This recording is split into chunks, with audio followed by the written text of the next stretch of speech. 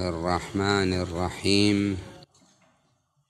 لو علم بعد الوضوء أنه إما ترك جزءا واجبا أو مستحبا.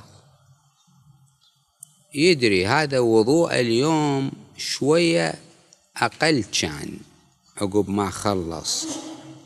حاسب حسابه.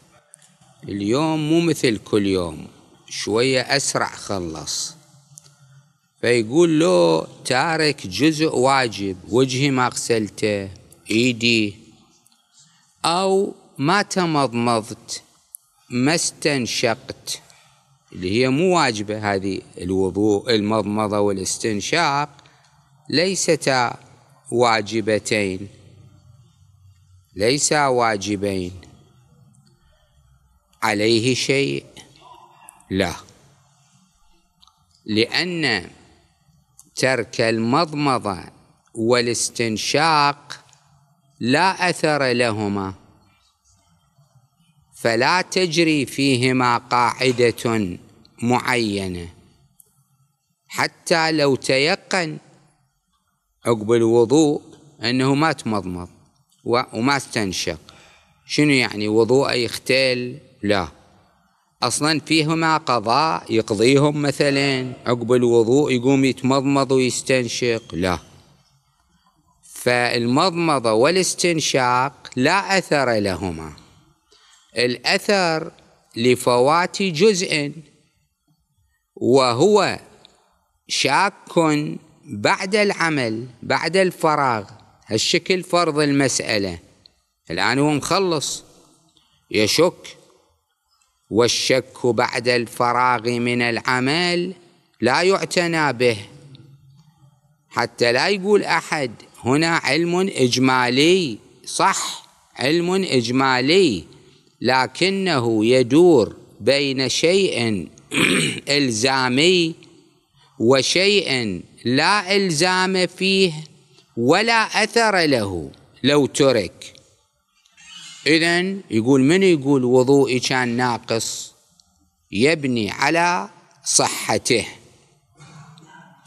نفس الكلام يأتي في عبادات كثيرة. هذا الكلام مو مختص بالوضوء. اغتسل هو عادة من يغتسل يغسل رأسه والرقبة ثلاثا والأيمن ثلاثا والأيسر ثلاثا. وهذا عمل مستحب. لا يصير خلط بين الغسل وبين الوضوء. الوضوء ما بي ثلاثا غسل الوجه واليدين. الوجه مرة ينغسل وجوبا. اثنين استحبابا. ثلاثة ممنوع. ماكو ثلاثة. إيد اليمنى إيد اليسرى مرة أو مرتين. المضمضة والاستنشاق ثلاثا. هذه كل وحدة لها حسابها. بالغسل قايلين يستحب أن يغسل كل عضو ثلاثة. زين الآن هذا متعود يسوي هالمستحب مستحب مو لازم. لو فرضنا غسل رأسه ورقبته مرة واحدة والأيمن والأيسر ولزم دربه ومشى. في مشكلة ما في مشكلة لكن هذا التثليث حسن. الآن هو عادته من يروح يسوي هالطريقة أو يتمضمض هم قبل الغسل ويستنشق ويغسل يديه مثلا. هناك آداب للغسل. هالمرة من طلع من الحمام من الغسل يشوف بسرعة طلع اليوم مو مثل كل يوم. كل يوم يطول له عشر دقائق بالغسل. عشرة ترى كثيرة إيش دعوة عشرة؟ خمسة هم زايدة. وبعضهم يروح ينوخ بالحمام. يقعد له ساعتين ثلاث ساعات. هل قد ما ياتي شب ما يقول هذا بإشكال ما يجوز. هو فقط يريد يغتسل هو الغسل شو يريد له؟ وهذا ما يقعد يصب على رأسه وعلى جسمه. يخاف غسله لا يصير مضبوط يتلف له كمية كبيرة من الماء إسراف إتلاف للماء. بس شو تسوي؟ على كل الآن هو يشوف اليوم بسرعة خلص مو مثل كل يوم. يقول أنا إيش سويت؟ إما ما ثلثت مثلا غسلت الرأس والرقبة والأيمن والأيسر بس ما ثلثت أو لا احتمال أحد الأعضاء أصلا ما غسلته. أصلا ما غسلت اليمين مثلا أو الرأس والرقبة. نفس الكلام يأتي. هو تثليث الغسل ليس إلزامية وما فيه قضاء. فما له أثر. بقى أصل الغسل والمفروض أنه شاك في صحته بعد الفراغ. تجري قاعدة الفراغ. نجي للصلاة نفس الكلام. صلى وهو حاسب حساب صلاته. كل ركعة إيش كثر تأخذ؟ والناس يختلفون في الركعات. بعضهم يقول أنا سمعت بعضهم يقول دقيقة تأخذ مني. بعضهم يقول دقيقة ونص مثلا. احتمالهم أحيانا وأنا مجرب هاي الركعتين تأخذ شو اسمه أقل من ثلاث دقائق يعني ممكن دقيقة وربع دقيقة وثلث ما علينا الآن. فهو حاسب حساب صلاته. خلص صلاة الظهر يشوف هالمرة أسرع خلصها لهالصلاة مو مثل كل مرة. فيحتمل أنه ترك جزءا يقول يمكن تركت لي سجدة تركت تشهد. ليش صارت أقصر؟ ويمكن تركت بعض المستحبات مثلا الصلوات على النبي وآله صلى الله عليه وآله التي ورد استحبابها في الركوع والسجود. مستحب الإنسان هذا وارد بالركوع والسجود بعد الذكر الواجب أن يصلي على النبي وآله صلى الله عليه وآله. اللهم صل على محمد وآل محمد. قبل كم يوم مرت علي رواية أكيد وحدة ويمكن اثنين يمكن هم اثنين بس وحدة أكيد ما بيها روح وتعال. أنه حتى بالقيام مستحب وهذه قليل يسووها. قليل أو شبه معدوم. عادة المؤمنين بالركوع والسجود يذكرون الصلاة على النبي وآله بس بالقيام ما يقولوها. مو مذكور بالقيام. الآن هو واقف يصلي وفرضه النوافل أو الفريضة وأكو مؤذن يأذن. بالأثناء ذكر اسم النبي صلى الله عليه وآله وهو واقف هذا المصلي. ينوي أنا راح أسويها لأنه سمعت الاسم الشريف ولأنني واقف. هالوقفة هذه. الآن ماكو مؤذن. هو خلص الحمد والسورة خليه يقولها. خلص الحمد مثلا الفاتحة خليه يقولها. كبر تكبيرة الإحرام قبل ما يبتدي. لا بأس أن يصلي على النبي وآله. قلت رواية قطعا شفتها. يمكن الواجبة والمستحبة. إيه؟ بالأذان الإنسان يصلي على النبي وآله ويكمل قراءته. وأنت واقف بالسجود والركوع كله. قل.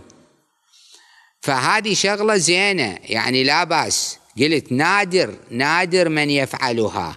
الناس غالبا المؤمنين بالركوع والسجود يسووها بالوقفة ما يسووها مع أنه رواية أو روايتين تقول في القيام تذكر فضل لذلك. زين الآن هذا خلص صلاته.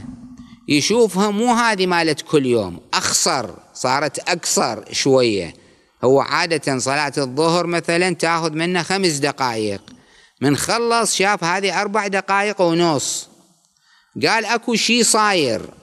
أكو نقصان. شنو اللي ناقص بالصلاة؟ يمكن آه، آه، أحد التشهدين ما أتيت به. يمكن سجدة ما جبت. ويمكن بعض المستحبات ما سويتها. هي مثل الصلوات مثلا. أو القعدة بين السجدتين من يقعد يقول الله أكبر أستغفر الله ربي وأتوب إليه الله أكبر. هذه تكبيرات مستحبة في الصلاة. بما أن هذه التكبيرات والصلوات لو تركت لا أثر لها. لو واحد عمدا تركها فيها مشكلة؟ ما فيها. زين تركها عمدا أو سهوا يقضيها عقب الصلاة؟ لا ما فيها قضاء. الصلوات ما فيها قضاء. هو عقب الصلاة الوارد قبل يمكن قبل كم ليلة قلت هالكلام. لعله في التفسير المنسوب إلى الإمام الحسن العسكري عليه السلام أنه عقب الصلاة آه، يقول ثلاث مرات اللهم صل على محمد وعلي وآلهم الطيبين. بهالصياغة اللهم صل على محمد وعلي وآلهم الطيبين. اللهم صل على محمد وعلي وآلهم الطيبين. بهالصياغة جاية عقب الصلاة. زين أن واحد يلتزم بيها. يعني هذه فيها رواية. الآن ممكن واحد يقول هذه الرواية معتبرة مو معتبرة. هذه إحنا ما لنا شغل فيها الآن. فيها رواية. أن واحد يقولها ثلاثا. طيب أما يقضي يقضي الصلوات اللي ما سواها داخل الصلاة ما عندنا. فعليه بالنسبة لهالعمل المستحب إذا كان تاركه ما له أثر.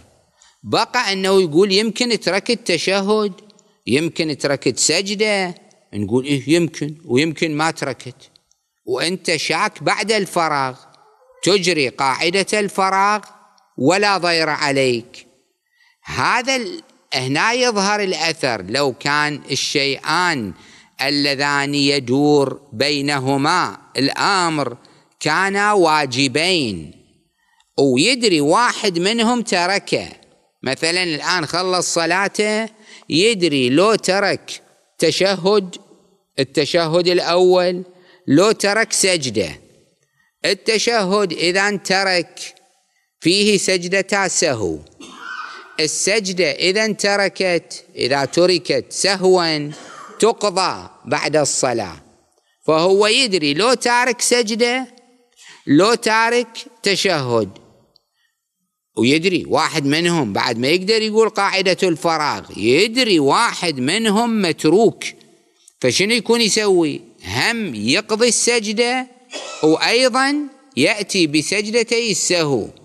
لأن يدري أكو تكليف توجه إليه إما بقضاء السجدة أو بسجدتي السهو فيأتي بهما كليهما.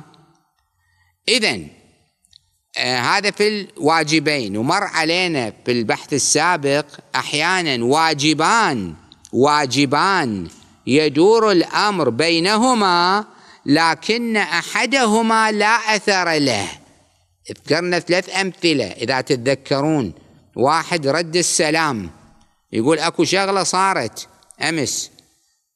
أمس شنو صار؟ يقول لو تركت أمس صلاة العشاء لو ما رديت السلام على حج فلان.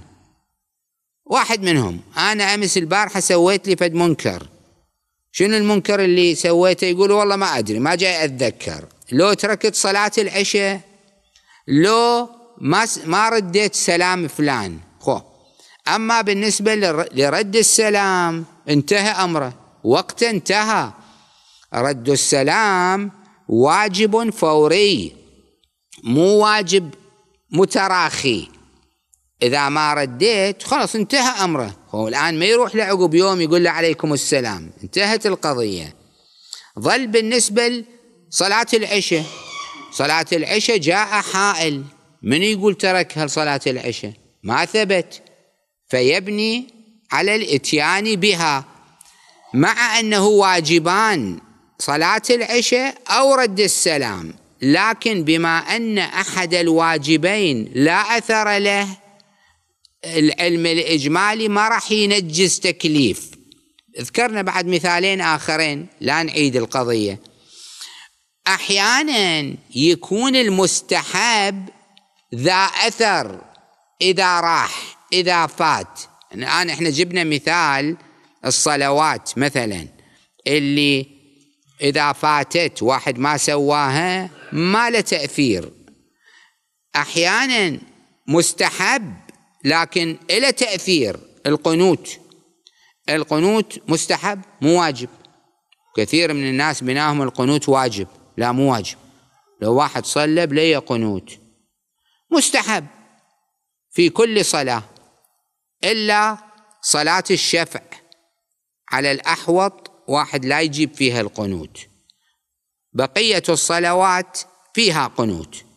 الآن القنوت لو واحد نسيه نفرض الآن خلوا العلم الإجمالي راح نجي للمسألة إن شاء الله. واحد نسى يقنت بالركعة الثانية راح للركوع تذكر مستحب قايلين لما يقوم من الركوع يقنت. يتداركه ما تذكر إلى أن خلص خلص صلاته. عقب الصلاة يقضيه يشيل إيده يقول ربنا آتنا في الدنيا حسنة وفي الآخرة حسنة. القنوت مو إلزامي لكن له أثر تدارك في تدارك. الآن هذا يقول وحدة من اثنين. أنا أدري لو فاتتني سجدة من الصلاة لو فاتني القنوت. السجدة إلها أثر وهي أنها تقضى. القنوت إلى أثر وهو أنه يقضى بس استحبابا مو إلزاما.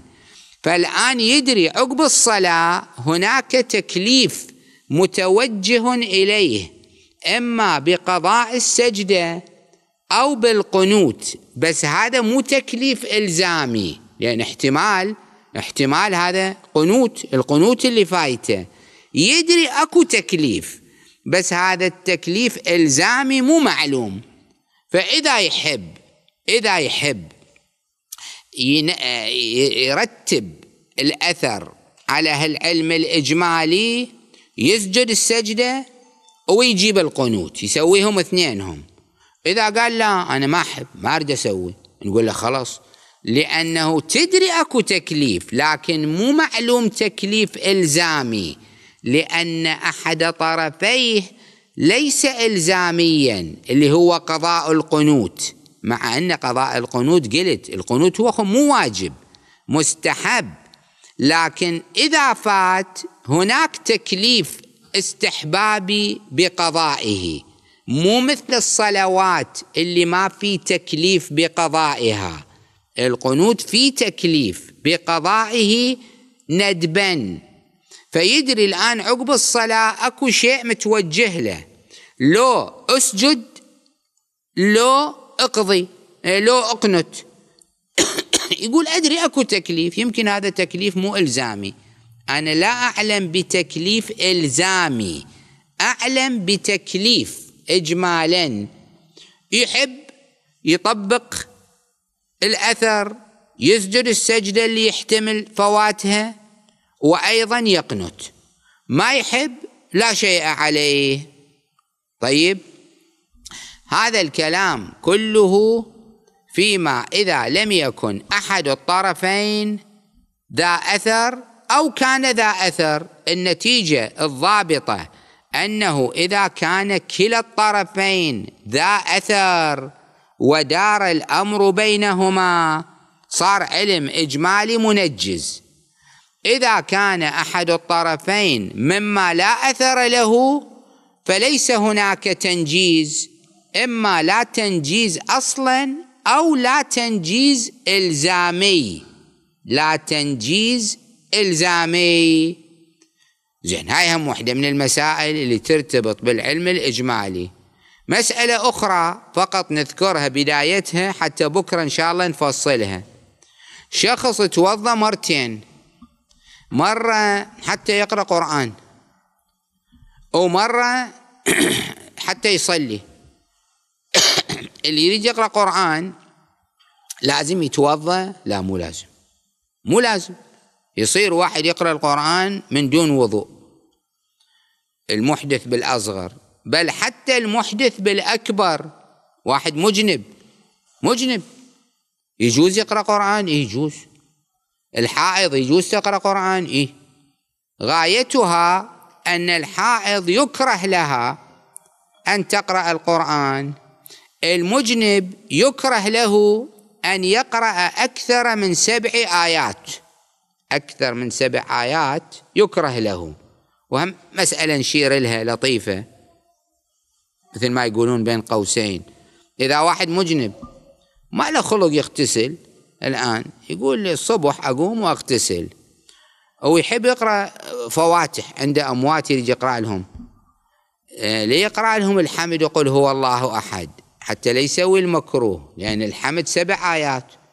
والتوحيد لو خمسة مع البسملة لو أربعة زادت على السبعة. حتى لا يسوي المكروه بس يقرأ له الحمد للميت.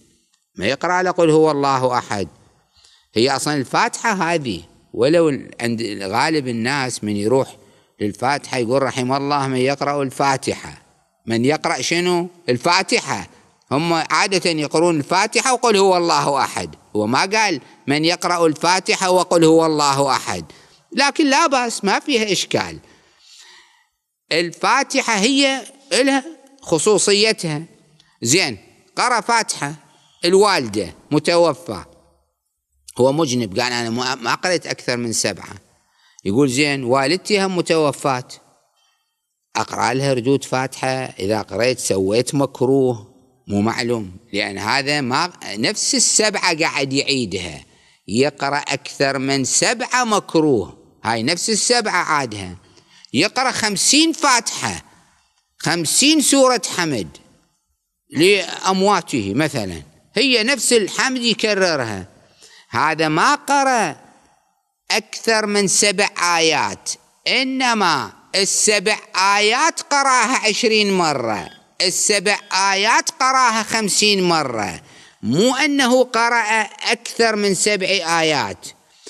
عموما الآن واحد يريد يقرأ قرآن توضأ بعدين عقب ساعة صار وقت الصلاة. قال خلي أتوضأ. مستحب واحد يتوضأ لأجل الصلاة. حتى لو كان هو متوضي لقراءة القرآن. حتى لو متوضي للدعاء. أكو شكل في رواية خصوصا صلاة المغرب. الآن لو نخصصها بصلاة المغرب لو بشكل عام. مضمون الرواية الراوي يقول كنت عند الإمام عليه السلام. صار المغرب. قال لي قوم توضأ. قلت له مولاي أنا متوضي. قال قوم توضأ صلاة المغرب. أكو وضوء زين توضأ لصلاة المغرب. فمن المستحسن أنه واحد لأجل صلاة المغرب يتوضأ وضوء خاص. حتى لو كان متوضي. الآن يمكن يجي تساؤل عند كثير من المؤمنين يقول أنا توضيت ببيتنا قبل المغرب وجيت المسجد. إيه زين سويت. بس إذا تحب تسوي هالمستحب من يصير الأذان تقوم تتوضا مرة ثانية لصلاة المغرب. هذا حسن. زين الآن هذا توضأ مرتين مرة لقراءة القرآن ومرة للصلاة. بعدين علم أن أحد الوضوءين باطل ناقص. لو ذاك لو هذا. ما تكليفه علم إجمالي. هذا رأس المسألة وإن شاء الله التفصيل يأتي غدا.